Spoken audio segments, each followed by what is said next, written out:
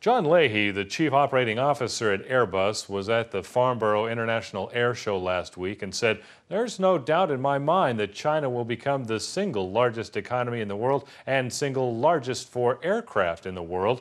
The two go together. Leahy helped Airbus raise from an 18% of the market to a 50% share in 10 years He's fairly positive on the aircraft industry. Leahy said about the debt crisis in Europe, it's a financial crisis, not necessarily a transportation crisis. We have aircraft that help reduce the crisis to running the airline, make travel less expensive. Airbus's new aircraft, the A380, for example, it consumes only 2.9 liters of fuel per 100 kilometers we build a way for more people to fly more comfortably at a lower cost. That's the way for the future.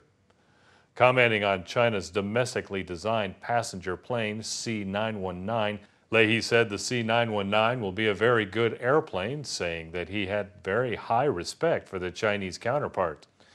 He believed that China would be among the three large manufacturers in the world, namely Airbus, Boeing, and the Commercial Aircraft Corporation of China, which is the producer of the C919 plane.